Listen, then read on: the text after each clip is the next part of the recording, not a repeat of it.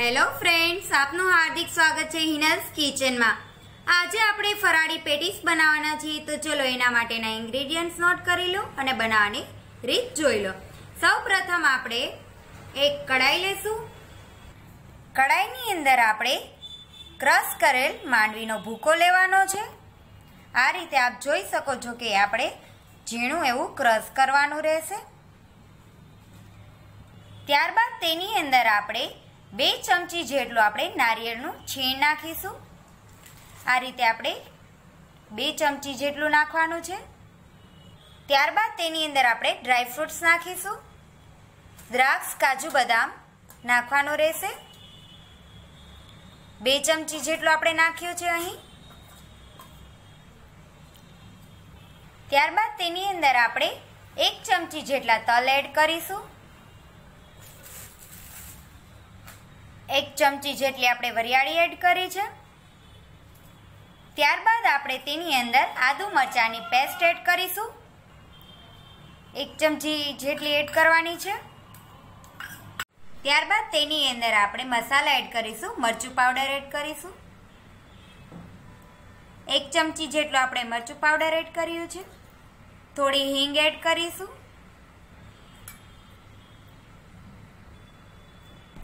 ત્યારબાદ તેની અંદર સ્વાદ અનુસાર મીઠું એડ કરીશું. તેની અંદર આપણે મરી પાવડર એડ કરીશું.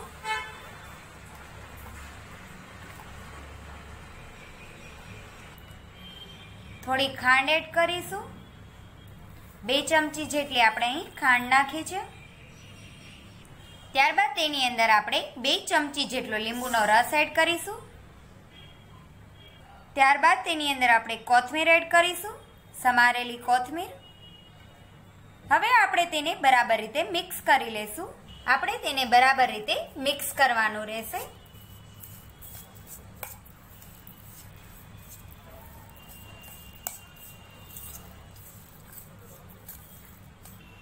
આ રીતે આપણે બરાબર રીતે મિક્સ કરી લીધું છે. ત્યારબાદ તેના આપણે બોલ્સ બનાવી લેશું. નાના નાના આપણે આના બોલ્સ બનાવવાના છે.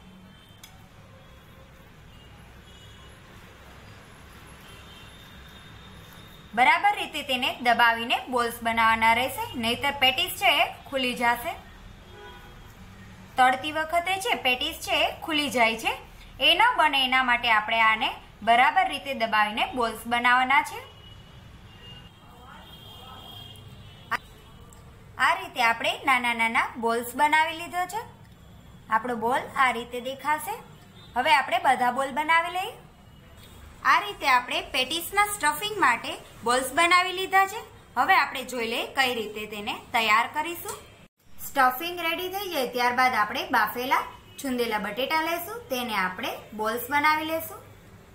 એના બોલ્સ છે આપણે મોટી સાઈઝમાં રાખવાના છે. આ રીતે આપણે મોટા બોલ્સ બનાવવાના છે. અને તેને આપણે આ રીતે દબાવીને પૂરીનો શેપ આપવાનો છે. ત્યારબાદ તેની અંદર આપણે સ્ટફિંગ જે રેડી કર્યું હતું, તે આપણે આ રીતે મૂકી દઈશું અને આપણે બરાબર રીતે કવર કરી લેશું. આ રીતે આપણે કવર કરી લેશું. ત્યારબાદ તેને આપણે ફરીથી આ રીતે વાળી લેશું. હવે તેને આપણે તપકીરના લોટની અંદર એડ કરી દઈશું. ડીપ કરવાનો રહેશે તપકીના લોટની અંદર.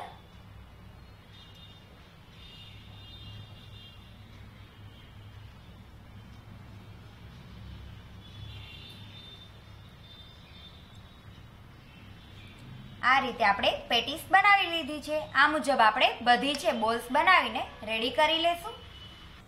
આ રીતે આપણે બધી પેટીસ બનાવી લીધી છે. હવે તેને આપણે બ્રાઉન ફ્રાય કરી લેશું. તેલ ગરમ થાય ત્યાં સુધીમાં આપણે પેટીસ માટેનું દહીં તૈયાર કરી લઈએ એના માટે આપણે બે વાટકા જેટલું દહીં લીધું છે.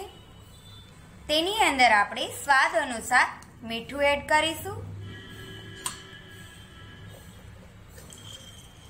મરી પાવડર એડ કરીશું. અડધી ચમચી જેટલો આપણે મરચું પાવડર એડ કર્યું છે. ત્યારબાદ આપણે તેની અંદર ધાણા જીરું એડ કરીશું. સમારેલી કોથમીર એડ કરીશું અને તેને બરાબર રીતે હલાવી લેશું.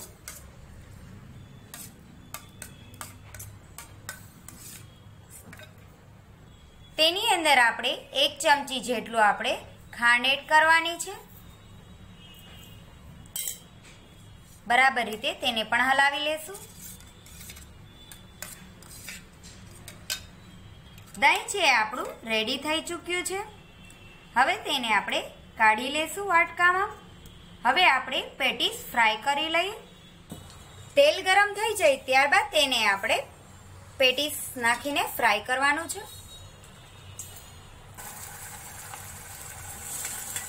એક એક કરીને આપણે બધી પેટીસ છે એને આપણે ફ્રાય કરી લેશું.